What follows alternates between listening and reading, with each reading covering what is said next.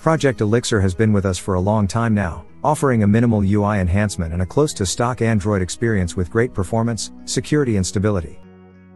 While using Project Elixir, you are guaranteed a butter smooth workflow without compromising the quality of the overall Android experience. We are already in October and the official Project Elixir version 3.2 brings you the latest security patch level in addition to extra features and improvements. In this video, we will be looking at the changes featured in the latest official changelog.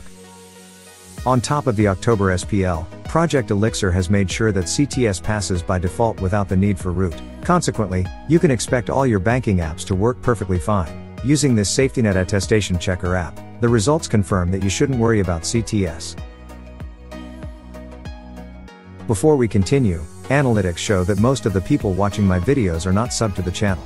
Take a moment, subscribe to the channel and turn on notifications so that you don't miss any update.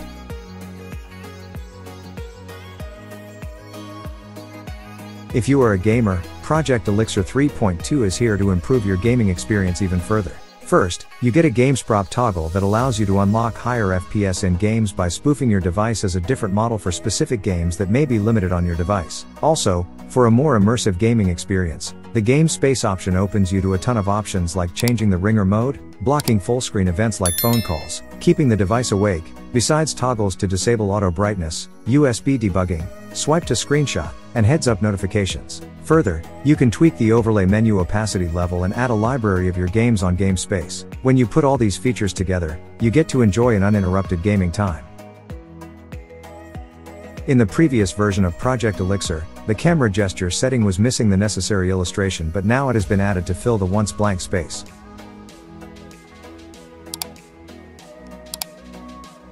By default, there will be a ripple effect every time you unlock your device with the fingerprint. Of course, not everyone likes this, and that is why Project Elixir 3.2 has added a toggle to turn this feature on or off depending on your preferences. This can also be very helpful to save performance on devices that may struggle rendering the ripple effect. In addition, you can choose to enable the double tap to sleep feature on the lock screen and avoid the need to keep pressing the power button all the time.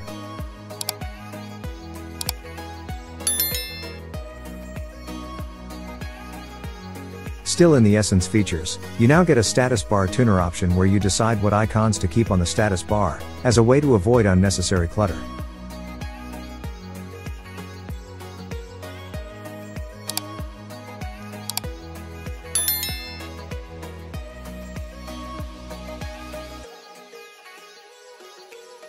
On the same status bar, Project Elixir 3.2 has brought back the good old circle battery style including the dotted and filled options. As a bonus, Elixir 3.2 has also introduced landscape battery icon styles for a change from the circle options. In most cases, there are not much customizations you can apply to the clock and the status bar but Project Elixir 3.2 is here to change that. Specifically, you can now opt to show the date next to time, adjust the position, and even change the date style to your liking. Even better, it is now possible to display AM or PM depending on your preferences.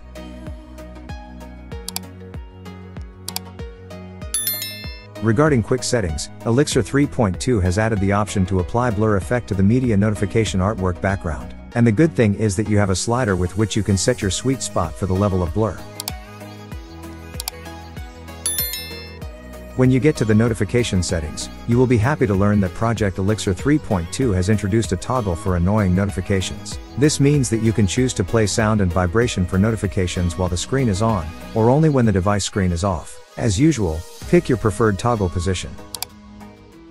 Overall, Project Elixir 3.2 is a solid update with improvements in both stability and performance. And apart from the highlight changes featured here, there are more changes under the hood that you will experience once you have moved from version 3.1 to 3.2. It is also good to note that there are also fixes for some of the issues encountered in the previous version.